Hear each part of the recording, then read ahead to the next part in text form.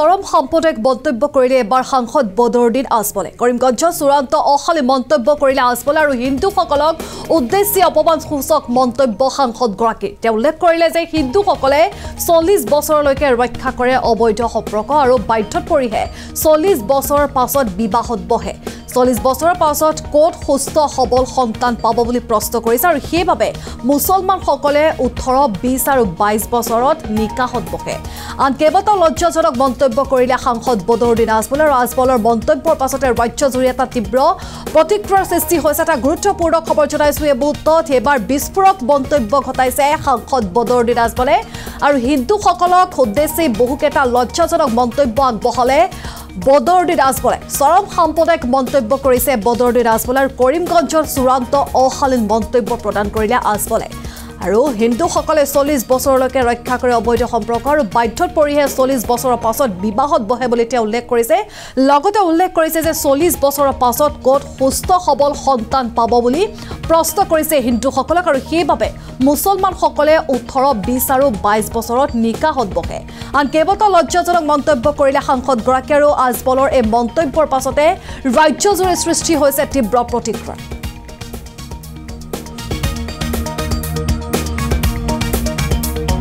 পুনৰবাৰ জনাবলৈ চেষ্টা কৰি আছো। সাংসদ বদৰুদ্দিন আজমলে হিন্দুসকলক উদ্দেশ্যি কেইবাটাও গুৰুত্বপূৰ্ণ মন্তব্য কৰিছে চৰম সাম্প্ৰদায়িক মন্তব্য প্ৰদান কৰিলে সাংসদ আজমল আৰু এই মুহূৰ্তত আমি পোনপটীয়াকৈ সংযুক্ত হৈছোঁ আমাৰ আউটপুট এডিটৰ ভাস্কৰ জ্যোতি সৈতে। ভাস্কৰ জ্যোতি বৰুৱা যিহেতু পৰিলক্ষিত হৈছে কৰিমগঞ্জৰ চূড়ান্ত অশালী মন্তব্য কৰিছে হিন্দুসকলক উদ্দেশ্যি সাংসদ বদৰুদ্দিন আজমলে যিহেতু পৰিলক্ষিত হয় হিন্দু আৰু মুছলমানসকলৰ মাজত যিহেতু সততে যি বিষবাস্প বিয়পাৰ কথা উল্লেখ কৰে বা সততে পৰিলক্ষিত হয় দুইটা সম্প্ৰদায়ৰ মাজতে জাতিক লৈ পেলাই বা সম্প্ৰদায়ৰ মাজক লৈ তুমুল বিতৰ্ক অব্যাহত থাকে। তেনে সময়তে আজমলে যি অশালীন মন্তব্য কৰিছে হিন্দুসকলক লৈ এয়া এক প্ৰকাৰে আমি ক'ব পাৰোঁ নেকি? সাম্প্ৰদায়িক বিষবাস্পৰ চেষ্টা কৰিছে সাংসদগৰাকীয়ে। কি জনাব? ভাস্কৰ জ্যোতি বৰুৱা।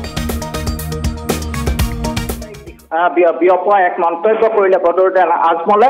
কিয়নো তেওঁ যি ভাষণ যি সংবাদ মাধ্যমৰ আগত মন্তব্য কৰিছিলে তাত উল্লেখ কৰিছে যে হিন্দুসকলে চল্লিছ বছৰলৈকে যিসকল যুৱক যুৱতী আছে তেওঁলোক অবৈধ সম্পৰ্কত থাকে আৰু বাধ্যত পৰিহে পৰৱৰ্তী সময়ছোৱাত বিবাহত বহে বুলি তেওঁ যি বিস্ফোৰক মন্তব্য কৰিছে তাৰ পাছত কিন্তু ৰাজ্যজুৰি প্ৰতিক্ৰিয়াৰ সৃষ্টি হৈছে।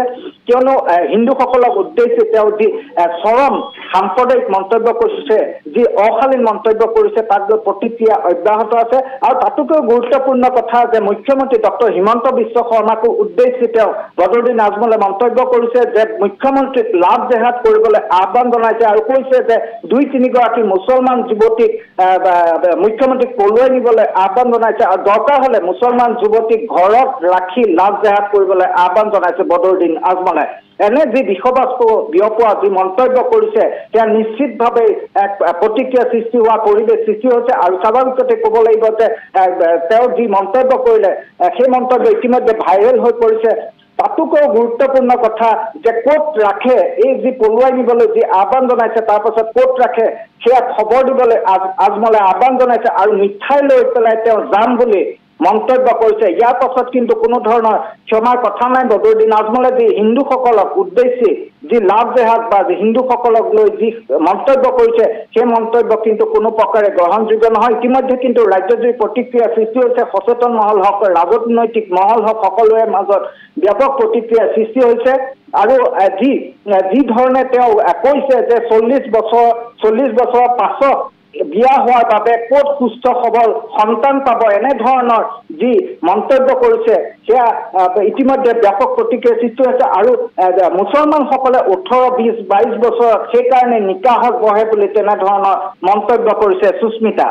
নিশ্চয়কৈ ভাস্কৰ জ্যোতি বৰুৱা এটা তাৎপৰ্যপূৰ্ণ মন্তব্য কৰিছে তেওঁ যিহেতু সাম্প্ৰদায়িক বিষবস্প চেষ্টা কৰিছে। আমি আন এটা কথা উল্লেখ কৰিব পাৰোঁ নেকি? যিহেতু কংগ্ৰেছে পৰিলক্ষিত হৈছে এ আই ডি এফে আগবঢ়োৱা যি মিত্ৰতাৰ প্ৰস্তাৱ কংগ্ৰেছে বাৰে বাৰে নাকচ কৰা পৰিলক্ষিত হৈছে। যিহেতু সাধাৰণ নিৰ্বাচন সমাগত আৰু নিৰ্বাচনৰ পূৰ্বে যিহেতু বাৰে বাৰে কংগ্ৰেছে প্ৰত্যাখ্যান পাইছে মিত্ৰতা হাতৰ পৰা প্ৰত্যাখ্যান পোৱা পৰিলক্ষিত হৈছে। তেনে সময়তে যি মন্তব্য কৰিছে বদৰুদ্দিন আজমলে এক পক্ষত আমি ক'ব পাৰোঁ নেকি যে কংগ্ৰেছলৈ আগবঢ়োৱা মিত্ৰ মিত্ৰতাৰ প্ৰতি যিহেতু পৰিলক্ষিত হৈছে আই ডি এফক যিহেতু বাৰে বাৰে প্ৰত্যাখ্যান কৰিছে। গতিকে সেইবাবে হয়তো এনেধৰণৰ মন্তব্য আগবঢ়াইছে নেকি? বদৰুদ্দিন আজমলে Congress Congress A I D এফৰ মিত্ৰতা বুলি ক'লে ক'ব লাগিব যে তেওঁলোকৰ যি গোপন সম্পৰ্ক সেয়া ইতিমধ্যে চলি থকা বুলি সৰ্বত্ৰ চৰ্চা হৈ আহিছে। যদিও বাহ্যিকভাৱে তেওঁলোকে যি মিত্ৰতা ফাট মেলা দেখুওৱা যায় সেয়া কিন্তু গোপনে চলি অহা বুলি সকলোৱে দাবী কৰি আহিছে।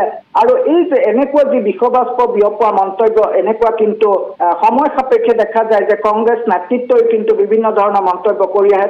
যদিও অভিযোগ আনে বিজেপিলৈ বা বিজেপি এ আই ডি এফৰ সম্পৰ্ক আছে বুলি কয় তথাপিও কিন্তু এ আই ডি এফ বা কংগ্ৰেছৰ যি মিত্ৰতা সেই তেনেকুৱা তেওঁলোকৰ যি গোপন সম্পৰ্ক চলি আছে। কিন্তু আজিৰ তাৰিখৰ গুৰুত্বপূৰ্ণ কথাটো হৈছে যে হিন্দু ধৰ্মক লক্ষ্য কৰি বাৰে বাৰে তেওঁ কিয় এনেকুৱা মন্তব্য কৰি আহিছে বদৰুদ্দিন আজমলে ক'ত শক্তি পাইছে এনে সাহস ক'ত পাইছে যে হিন্দুসকলক বাৰে বাৰে উদ্দেশ্যি এনেধৰণৰ বি- আহ, বিষবাস্প বিয়পোৱা মন্তব্য কৰি থাকিব। হিন্দুসকলক লক্ষ্য কৰি তেওঁ বাৰে বাৰে মন্তব্য কৰি থাকে। আৰু যদি নিৰ্বাচনী সভাসমূহতো দেখা যায় তেওঁ ইছলাম ধৰ্মাৱলম্বী লোকসকলকো জৰা ফুকাৰ ৰাজনীতিৰ মাজত তেওঁ ৰাখি থয়। আৰু তেনেকুৱা যি তেওঁলোকৰ যি প্ৰায় অশিক্ষিত লোকসকলক তেওঁ আভুৱা ভাৰি আহিছে তেনেকুৱা জৰা ফুকাৰ ৰাজনীতি কৰে। তেনেকুৱা বিভিন্ন সময়ত সংবাদ সম্প্ৰচাৰ হৈ আহিছে। কিন্তু আজিৰ তাৰিখত গুৰুত্বপূৰ্ণ কথাটো হৈছে যে যি চৰম চৰম উদ্ভণ্ডালি বুলি ক'ব লাগিব চৰম অশালীন মন্তব্য ক'ব লাগিব মন্তব্য বুলি ক'ব লাগিব যে চল্লিছ বছৰলৈকে অবৈধ সম্পৰ্ক ৰক্ষা কৰে হিন্দু যুৱক যুৱতীয়ে আৰু তাৰ পাছত বাধ্যত পৰি বিবাহত বহে।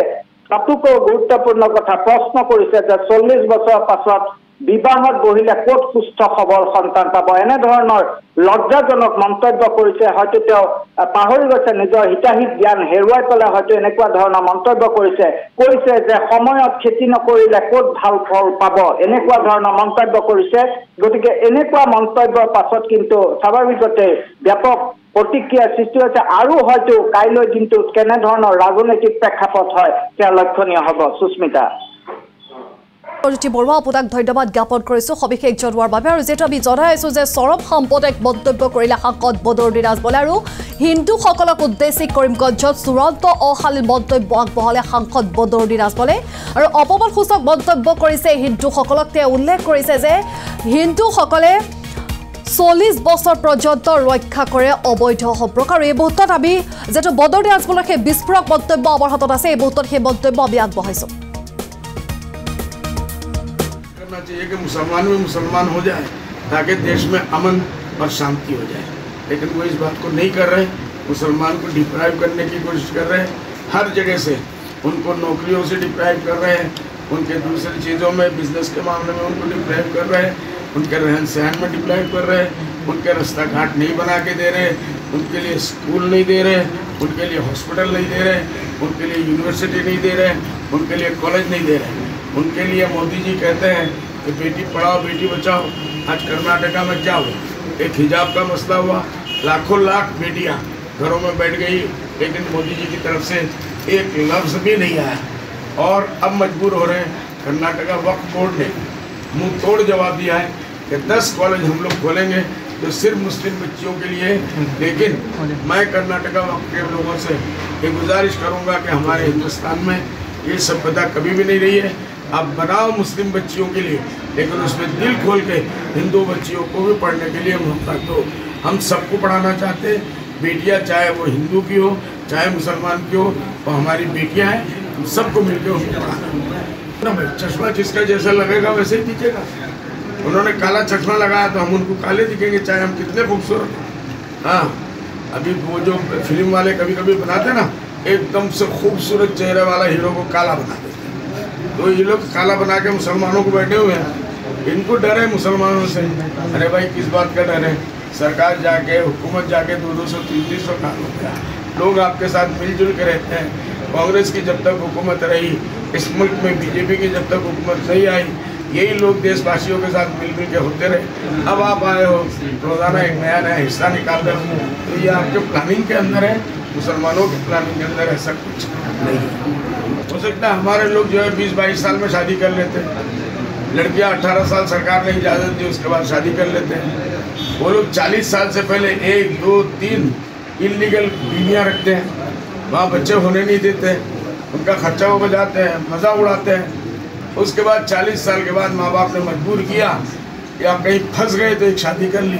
उसके बाद चालीस साल के बाद बच्चा पैदा करने की सलाहियत कहाँ रहती है कैसे उम्मीद रखते हैं तो वहाँ से इतने बच्चे बढ़ेंगे तो जो लोग टाइम पे फर्टाइल ज़मीन के ऊपर आप जब मिट्टी डालोगे और दवा डालोगे तो वहाँ से तो धान ही धान खेती अच्छी होगी नहलवान होगी, तरक्की तरक्की होगी। उनको भी अपनाना चाहिए मुसलमानों के इस फॉर्मूले को कि अपने बच्चों को, जवानों को बीस बाईस साल में शादियाँ कराओ, लड़कियों को अट्ठारह बीस साल की उम्र में शादियाँ कराओ। फिर देखो आपके यहाँ भी कितने बच्चे पैदा होते हैं। आएगा, नहीं आएगा नहीं आएगा, जब तक के लोग अनपढ़ रहेंगे। गाँव देहातों में आप एजुकेशन नहीं पहुंचाओगे, उनके बच्चों को मुसलमान बोल के पढ़ने नहीं दोगे, उनके गाँव में स्कूल नहीं बनाओगे, उनके गाँव में कॉलेज नहीं बनाओगे, उनको एजुकेशन का रोशनी नहीं दिखाओगे, उनको अपने तंदुरुस्ती और सेहत के बारे में हेल्थ के बारे में अवेयरनेस नहीं पैदा कराओगे, जब तक ये मामला चलता रहेगा। अगर सरकार वाकई इस मामले में नियंत्रण कराना चाहती है। सबको एक आँख से देखें, हिंदू, मुस्लिम, क्रिश्चियन, ईसाई, सबके घरों में इलम की और एजुकेशन की रोशनी को पहुंचाओ, उनको समझाओ, इसमें वो मत करो, खाली ब्लेम देने से नहीं होता, ब्लेम गेम से कोई मसला हल नहीं होता। आज से तो उसके लिए हॉस्पिटल बनाना पड़ेगा, डॉक्टर देना पड़ेगा। आप ब्लेम गेम करते रहेंगे, कब तक चलते नहीं चलेगा। सबके यहाँ मुसलमान बावर्ची लेकिन मज़ेदार खाना चाहिए। तो इसलिए उनको दूसरे लाइन से आगे बढ़ाओ। उनको शिक्षा दो तो वो भी सीख जाएँगे। और उनको खाली दूर दूर करने से नहीं चलेगा उनको गले मिलाओ गले लगाओ। उनको चूँकि इलेक्शन में एक जुमला इस्तेमाल करना था गुजरात था तानिया लेनी थी वो तानिया उनको मिल गई। मैं उनको माशाल्लाह इस वक्त पूरे हिंदुस्तान के चीफ मिनिस्टरों में प्राइम मिनिस्टर मोदी के बाद आपका नंबर आ रहा है अमित शाह जी के बाद आपका नंबर आ रहा है। हाँ तो इसलिए आपको तो कोई कमी नहीं है। आप दो चार पाँच लव जिहाद खुद कर लो। ठीक है, हमारी मुसलमान बच्चियों को भगा के लेके जाओ। कहाँ रखोगे वो जगह? हम लोग को बता देना। हम आपको मिठाई देने आएँगे, हम झगड़ा करने नहीं। समझेगे नहीं? हमारी मुसलमान बच्चियों को आप भगा ले जाओ। लेकिन आप अपने घर में चार पाँच मुसलमान लड़कियों को ले जाओ, भगा के रखो और लव जिहाद उनसे करो। जितना शरीर में ताकत है उतना ताकत आजमन को कोशिश करना चाहिए कि मुसलमान में मुसलमान हो जाए, ताकि देश में अमन और शांति हो जाए। लेकिन वो इस बात को नहीं कर रहे। मुसलमान को डिप्राइव करने की कोशिश कर रहे हैं। हर जगह से उनको नौकरियों से डिप्राइव कर रहे हैं। उनके दूसरी चीज़ों में